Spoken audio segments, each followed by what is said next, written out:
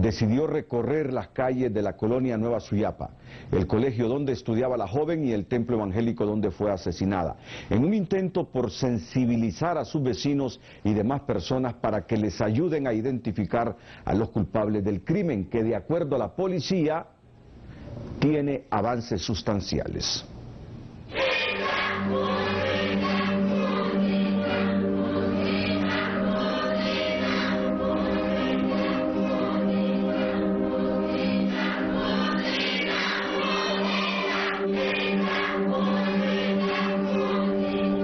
Su hija, Cindy Marbella Alemán, de 16 años, no puede quedar en la impunidad. Con su dolor a cuestas, hoy los padres de la menor iniciaron una cruzada para clamar justicia por su muerte.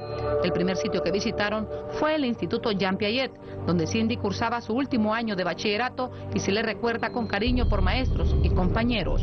Y los jóvenes, pues que también están asimilando esta pérdida, eh, han estado confeccionando estos mm, eh, poemas, aquí van poemas, aquí van mensajes, aquí van velitas que le ponen en el aula a su, a niña y bueno, si en algo esto le puede ayudar a su dolor, pues con mucho, con mucho gusto yo le entrego todo lo que, parte de lo que los muchachos están haciendo, ¿verdad?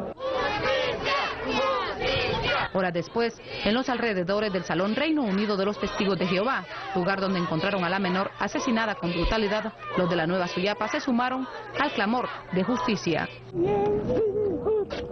Ayúdanos, ayúdanos, parece que te hizo esto, Dios mío. Ayúdanos, Dios mío. Dame una luz, Señor, ¿quién le hizo esto mi niña, caramba? Ya no soporto, ya, Dios mío. Ya, no, Dios mío, no quisiera vivir sin mi muchachita, caramba. Esto es horrible, lo que pasa aquí no es la primera, no es la primera niña que matan, que violan, que le hacen todo lo que quieren. Aquí no hay nada, tenemos miedo, tenemos miedo, queremos seguridad acá, queremos que las, las personas que mandan, que nos protejan. Las investigaciones sobre el asesinato de la menor están avanzadas, sin embargo sus padres solo piden un último favor. Ya no hay hipótesis de que me la trajeron a otro lado, aquí me la mataron adentro.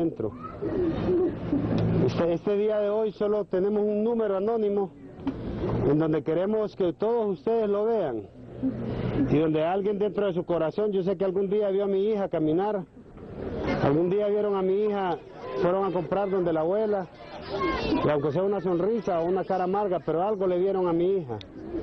El día de hoy solo necesito yo que alguien me diga con quién la vio o a qué horas y dónde. Yo tengo este número de teléfono que es anónimo, el 96 88 28 23. Ya puede ser una llamada de un niño, de un adulto, de una señora. El número es de secretividad, es privado. La emotividad es tan grande que algunos también exigen el cierre de la iglesia por suponer que allí se protege al autor material del crimen. Que se cierre, que se cierre, no queremos ver cerrada esta iglesia. Que se cierre, que se cierre. Y queremos justicia por ella, que se cierre, no queremos ver esta iglesia abierta. Porque así como dicen ese cartulón, pueden ser en el futuro nuestros hijos que nos maten. Pero la exigencia de justicia no se quedó en un solo lugar. También se hizo un recorrido por las calles y en autobuses de la referida colonia, pidiendo información sobre los culpables. Tengo a Jehová de primera. Jehová me, es un Dios justo y sabe cuánto le dolió perder su hijo. Yo sé que un día Él va a, va a hacer justicia también. Y hoy yo como ser humano y- imperfecta que soy, me duele mucho mi hija y quiero justicia también. Quiero saber quién me hizo esta maldad.